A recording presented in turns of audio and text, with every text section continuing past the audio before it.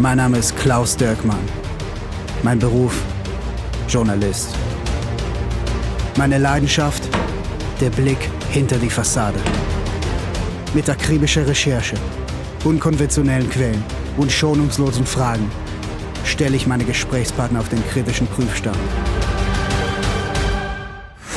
Mein heutiger Gast, Danke. Wolfgang Bosbach.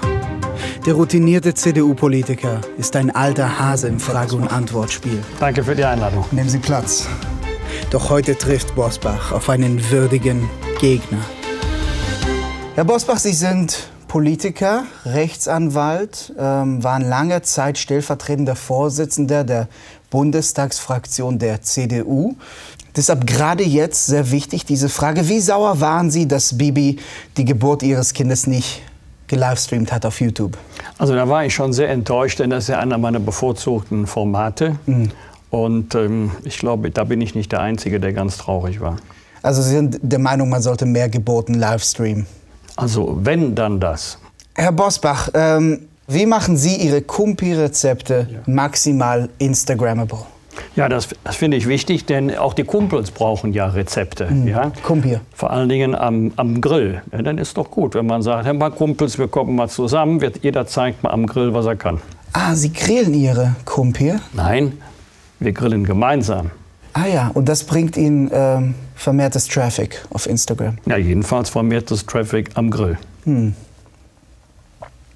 Herr Bosbach, welcher Instagram-Filter passt am besten zu Ihnen? Sind Sie der eher Typ so monochrom? Oder sagen Sie, nein, ich bin ein bisschen ausgeflippter, ich nehme den Kelvin? Also den einzigen Filter, den ich benutze, ist Melitta. also der ist auf Snapchat eher dieser Melita. Ja, eher gar nicht. Also Sie machen Ihre Filter selbst oder haben Sie das Team, das Social-Media-Team, das das für Nein, Sie ich herstellt? versuche ja außerhalb des Kaffeetrinkens ohne jeden Filter zu arbeiten. Sie setzen also eher auf den Natural Look. Hashtag No-Filter, aber dann den Melita drauf. Ja, eher weniger. Sehr schön. Sie beeindrucken mich schon jetzt. Ähm, Herr Bosbach, was sind Ihre Must-Follows auf TikTok? Ähm, also ich äh, nehme sie gerne. Ich habe sie immer im Auto. Ich finde, wenn man aussteigt, da braucht man einen frischen Atem. Also ich meine, da, man darf ja keine Werbung machen, ja, aber TikToks gehören dazu. Ähm, Herr Bosbach, Ihr Crush hat einen neuen. Wie gehen Sie mit dem Liebeskummer um? A. Sie stalken Ihren Crush auf Insti. Oder B. Sie machen ein dreiwöchiges Juice Cleanse. Oder ähm, C. Weinen.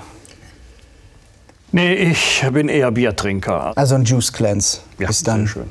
Bibi, Dagi B oder Kylie Jenner, welche Influencerin hat die süßeste Lipgloss-Marke? Die wichtigste Influencerin in meinem Leben waren nicht die drei Damen, sondern Else Bosbach, meine Mutter. Else Die Bosbach. hat mich so beeinflusst wie niemand anderes. Ohne Lipgloss. Else Bosbach hat keine eigene Lipgloss-Marke? Nein. Also man könnte vielleicht anfangen mit so einem cuten Poster in der Bravo ähm, oder vielleicht so, so ein eigenes... Ich weiß nicht, ob das die Quiz. Zielgruppe ist. Wenn Mama ist 92 oder wird jetzt 92, ist eher die Apothekenumschau. Verstehe. Ähm, Ihre Lehrerin kassiert das Handy ausgerechnet an einem Freitag ein. Meine Was Lehrerin! machen Sie? Also als ich noch zur Schule gegangen bin, da, da gab es ja gerade mal Tafeln, da wurde ja die Kreide erfunden. Kreide, ist das, äh, ist das eine neue Plattform oder ist das so ein TikTok-Filter? oder wie? Früher wurde auf Tafeln noch mit Kreide geschrieben. Also es ging mehr in Richtung Make-up-Tutorials, auf Kreide setzen, ein bisschen so Bleaching. Ja, eher, eher weniger Bleaching, sondern Schreibing ja, auf der Tafel. Ah ja. Also für Smoky Eyes, für cute Smoky Eyes, bisschen Lipgloss. Nee, nicht Lipgloss. Schulzimmer. Smoky Eyes. Tätowierte Jungs, hot oder flop? Ja, aber, aber mega hot. Mega hot. Also alleine hier Ed Sheeran ist ja dafür ein Beispiel. Er ist ja kein Quadratzentimeter mehr, der noch nicht zum Kunstwerk erklärt wurde. Ed Sheeran hat sehr cute Tattoos. Was ist da Ihr Lieblingstattoo? Also eindeutig der Löwenkopf. Ja, also der, der dominiert ja schon fast. Alles andere äh, sind ja Randerscheinungen, aber dieser Löwenkopf, der ist so prägnant. Okay, interessante, ähm, interessante Meinung. Also ähm, ich meine, den, also so Kunstwerke wie den Hai ähm, hier in der, unterhalb der linken Rippe als, als, Beiwerk zu bezeichnen, finde ich ein bisschen radikal. Ein Hai, das ist ja bestenfalls ein Albino-Goldfisch, das können Sie nicht als Hai bezeichnen. Also der, der Löwe, das ist der König der Tiere, der, das ist doch kein Hai, das ist doch ein Versehen. Der König das ist der jetzt Tiere? Ein, ein Niveau. Haben Sie einen Löwen schwimmen sehen? Ein, Wollen wir einen Löwen ins Wasser werfen und sehen, wie er da ich mit habe dem noch Hai kein, aufnimmt? Ich habe noch keinen Hai in der Steppe gesehen. Äh, Da, da kann man gar keine zwei unterschiedliche Meinungen haben. Also Nee. wer da sagt, der Hai ist Hai, also nee, also Leute, nee. Also tut mir leid, da ist mir die Zeit zu schade für. Das also, ist in Ordnung. Vielen Dank für das Interview. also, wenn Sie nee, da tut mir leid, Hai da kann ich nicht ähm, mit konform gehen. Ja, aber der Hai war viel cuter, nur dass Sie es wissen. Also wesentlich cuter.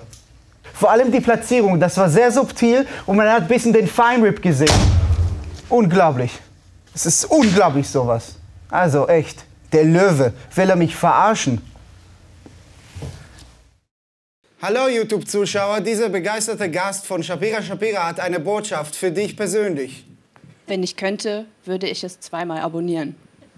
Abonniere jetzt.